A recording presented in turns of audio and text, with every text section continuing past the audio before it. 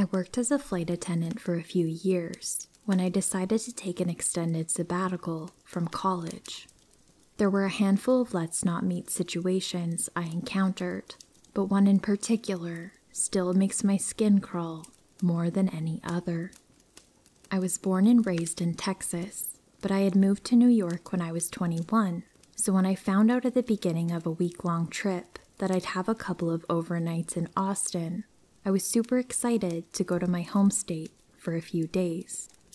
My brother lived just north of the city, and we planned to hang out and go to dinner the night when he got off work. And the following day, we were going to meet up with our dad, who lived about an hour away.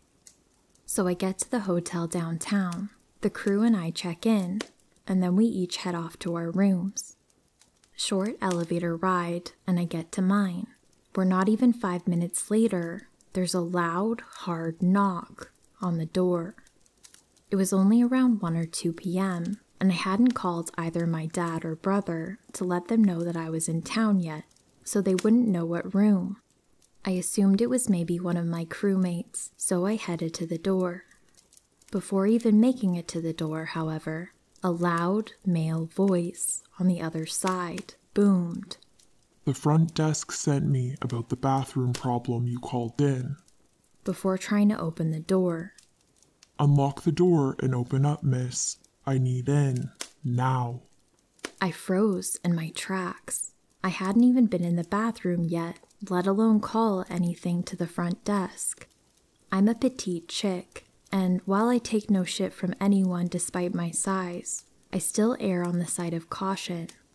Slowly inching towards the door to look out of the peephole, all I could tell was that this man on the other side was at least six feet tall and easily over double my weight.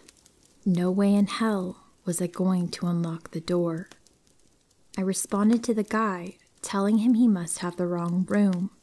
He continued pounding on the door while constantly turning the handle, telling me no, he needed in and was getting in the room one way or another.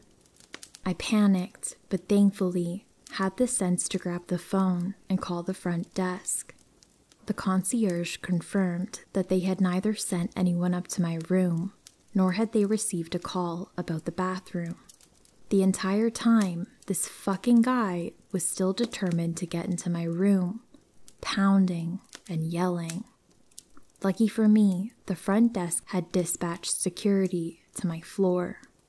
When the security officers step off the elevator a few seconds later, I can hear them in the hall approach and ask the guy who he was, what he was doing, and telling him that he needed to leave the hotel.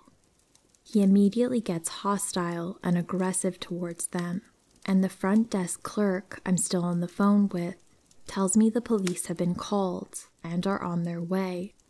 In the meantime, I'm trapped in my room, scared shitless. Long story short, the cops show up pretty quickly and manage to arrest the guy for trespassing and criminal menacing or some shit. I later found out that the guy was also wanted in connection to a string of break ins and violent SAs in Austin. He had seen and stalked me from the minute I entered the hotel lobby. Apparently, I was exactly his type of victim. Nothing else happened after that, but it still rattled the fuck out of me for the rest of my stay in that hotel.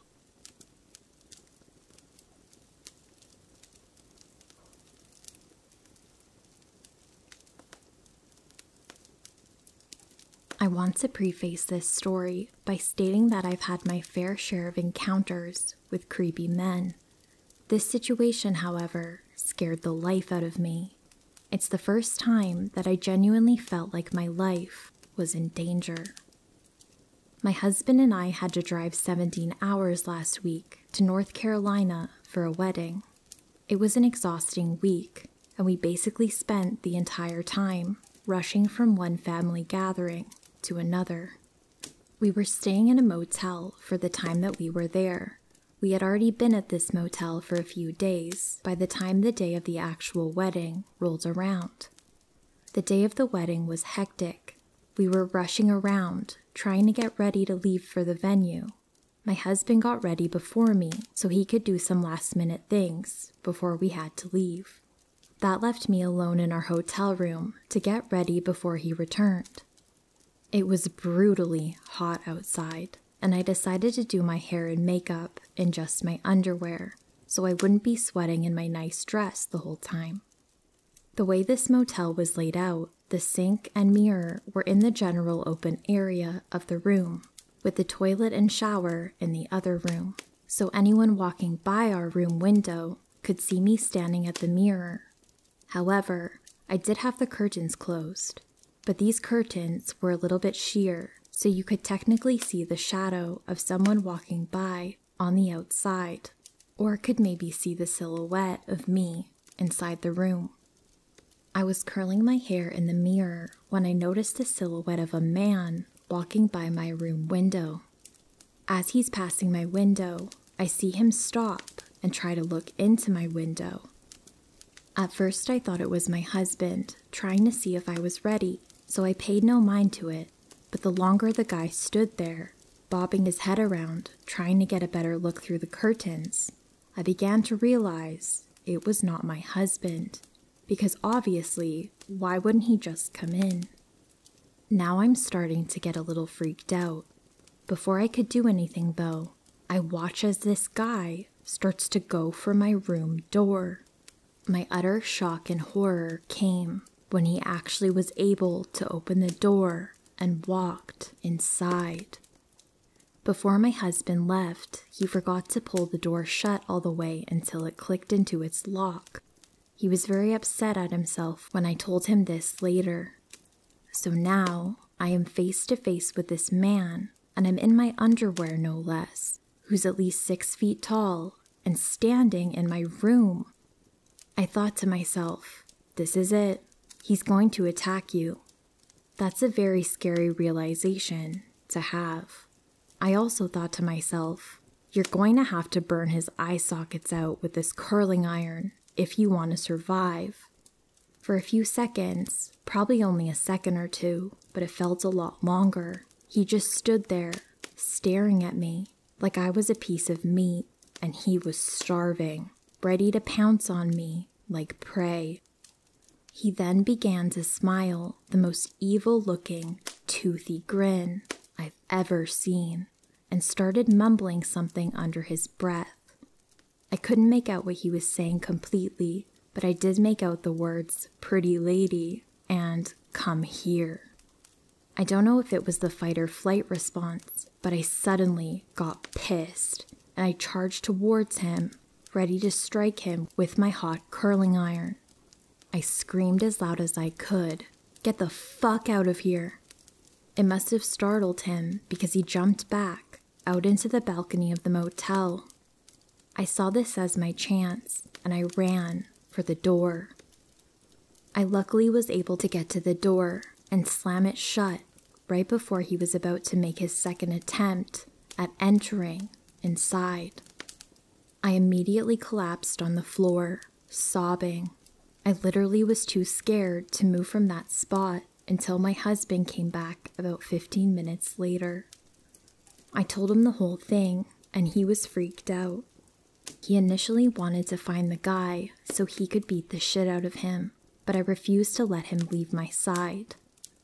He must have apologized a thousand times during the rest of our trip for not making sure that the door was locked before leaving, but I told him that the day and the whole trip really was so rushed that I could see how it happened. We went to the motel management and told them the whole story. The police were obviously called, and I gave them a description of the guy so that they could see if it was someone who was staying in the motel.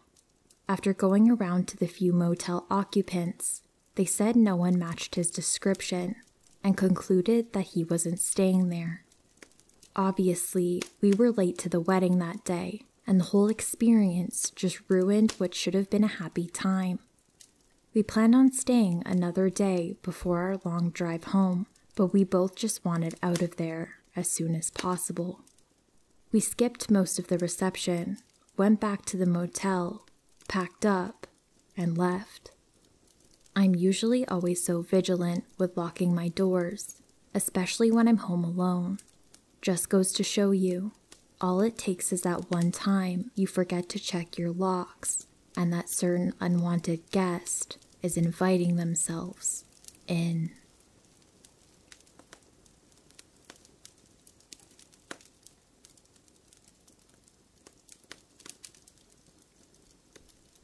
This happened during the summer of 2002 while I was on a family trip to Las Vegas. My 11 at the time of this story family and I went on a family vacation to Las Vegas. There were a bunch of us since we had family visiting from out of the country.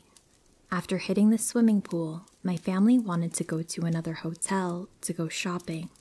My grandma, no, she had just immigrated from the Philippines a few years before and knew very limited English, and I decided to go back up to our hotel room because she was tired and I wanted to change before meeting back up with the rest of our family later on for lunch. We got into the elevator, and as it was closing, an older gentleman, maybe in his early to mid 50s, asked to hold the door. I remember my mom telling me not to let any strangers know where our room was, so before I got in, I pressed two more floors, and thank God I did. He got in and started making small talk. He looked at my shirt.